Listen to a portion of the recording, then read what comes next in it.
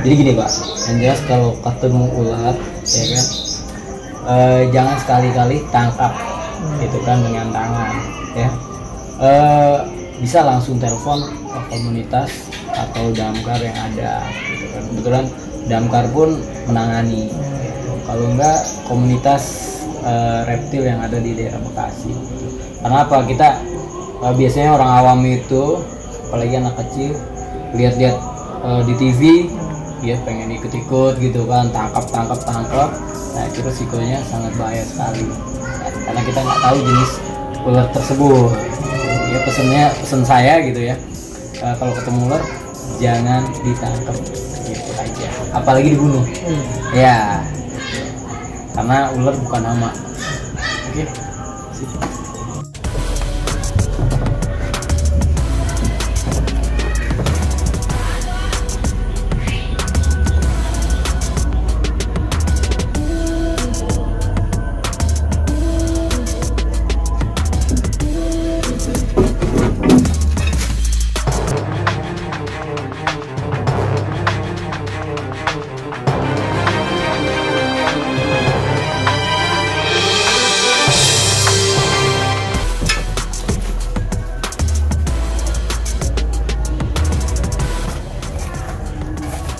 Nah, Tar. sudah Oke. Oke, eh, sudah kena eh, ularnya. Jenis ular lanang sapi, ya. Ini ularnya tidak berbahaya sebenarnya. Eh, ular ini memakan tikus atau rat snake, ya lanang sapi Colecnatus radiata. Nih, kurang lebih panjangnya satu meter lebih, ya. Oke, kita amankan dulu ya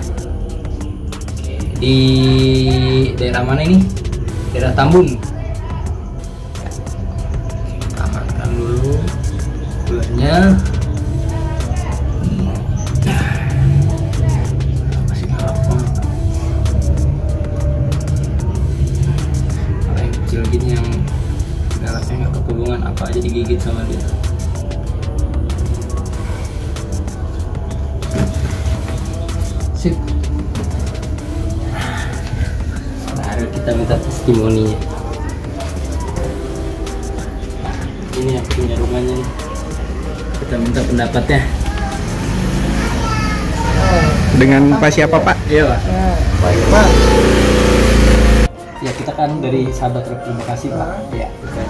Karena memang eh, sahabat dari petani buat ngurangin populasi hama tikus. Lalu dia ke rumah itu biasanya nyari cicak, tikus, itu dia. Kalau yang ular hijau biasanya nah baru nih burung-burung gini nih.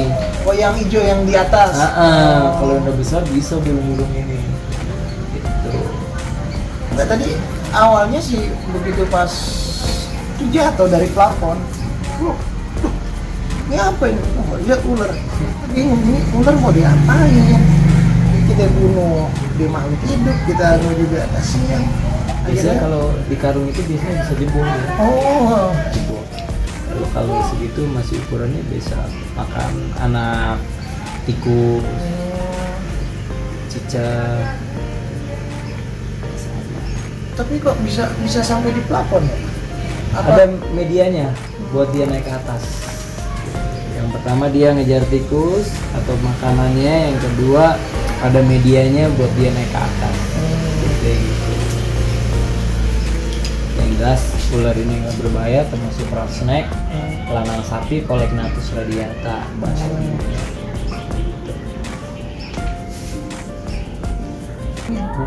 gede sini di sini kan ada ada aliran dari Kalimalang Ya. yang buat ngalirin sawah tadinya sih sebelum dibikin gudang nih sawah semua karena sekarang udah dibangun pergudangan. Iya iya iya. Lahannya dia udah udah Bergeser. bergeser. cuma tinggal ini tanah kosong cuma nggak tahu ini tahun berapa ini bakalan kegusur kali. Masalahnya udah tanah dia mulu Oh, Nah, 9 hektar dia tanah dia doang. Cuma dia belum tembus ke jalan besar saudara punya dia minta 20 per meter. Apa gitu kan hewan-hewan yang bikin lobang lah. Biasanya dia mah kalau itu juga lari cepet itu ular. Oh. iya. Jenis-jenis ular kayak gitu. Kayak di karung aja tadi kuota naik gitu ya karung kuota naik. Saya pikir ah licin kali. Iya. nah kalau koe kalau ular itu kalau dapat ular jangan taruh di karung ya. Hmm, biasanya kalau di karung itu ya itu. Jebol ya? Jebol. Karena kan dia ada rongga itu kan tuh. Hmm, iya. Nah, gitu kan. Harusnya di mana? Di sarung. Sarung. Ya hmm, buat anu bantal guling ya? bantal guling. Kalau kita biasa pakai bantal guling. Ya ini kan kayak kayak gini kan jadi edukasi Iya. buat kita pengetahuan paling enggak satu begitu uh, dia dia masuk ke pemukiman kita udah tahu Nah. harus ke mananya ini. Intinya gini aja pak. Kalau ketemu ular itu stop. Stop. Ya Oh. stop itu. S nya silent diam. T nya thinking. Hmm. O nya observasi. Observasi itu kita yang pertama stop itu diam kan? Hmm. diam itu eh, ular itu kan sensitif terhadap gerakan. Kita diam dia nggak akan nyerang gitu kan. Terus thinkingnya kita berpikir nih ular ini berbahaya atau tidak gitu kan. Ya O nya observasi lihat di sekitar kita. Seandainya ada alat yang bisa bantu kita untuk nyikirin siap-siap gitu kan. Kita pakai kita gunakan. Kalau emang kita mau kabur ya kan lihat. Jangan sampai nanti kita kejebur empang Oh, atau iya. itu got kan gitu kan kayaknya prepare. Lakukan yang tadi kita udah ini. Itu aja. Yang jelas ular nggak akan nyerang kalau nggak diprovokasi. Gitu aja. terus biasa nih kalau orang orang-orang kampung kan nggak jauh. Ular takut garam ular takut garam Oh, itu iya, mitos. iya. nggak bakalan ya. jangan-jangan tadi kalau dikasih garam bikin nah rujak itu takutnya gitu kan. Biasanya kalau ular-ular itu dia dengan bau-bauan yang menyengat Hmm, takutnya. Wipol atau apa gitu itu kan baunya menyengat gitu kan. Itu merusak eh, ini dia sensornya. Hmm, kalau garam enggak. Kenapa? Karena ya itu sisiknya ular sama dengan kuku kita bahannya keratin. Hmm. ya, jadi nggak ngaruh sama sekali. Itu mitos berarti yang takut mah bukannya ular cacing. Nah ya Biasanya ya, hewan-hewan yang berlendir lah. Iya. Iya. Oke, hewan-hewan yang berlendir itu pasti. Takut sama garam. Eh, Bapak bisa dapat nomor sahabat reptil eh, dari mana? tadi kan saya lihat ada ular.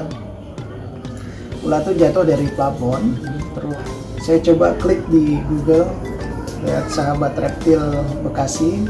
Terus saya lihat ada nomornya. Ternyata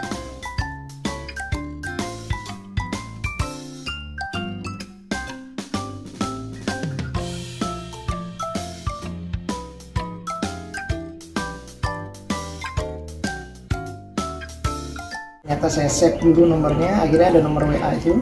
Nah saya coba hubungi buat sahabat reptil untuk eh, untuk mengamankan ular tersebut. Karena satu sisi ular pun makhluk hidup. Sayang kalau kita bingung kasihan nanti anak cucu kita nggak bisa lihat eh, tentang ular karena keserakahan daripada manusia.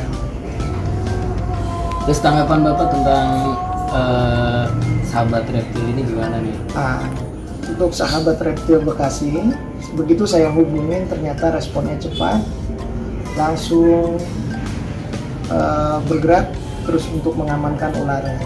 Terima kasih untuk sahabat reptil Bekasi. Terima kasih juga.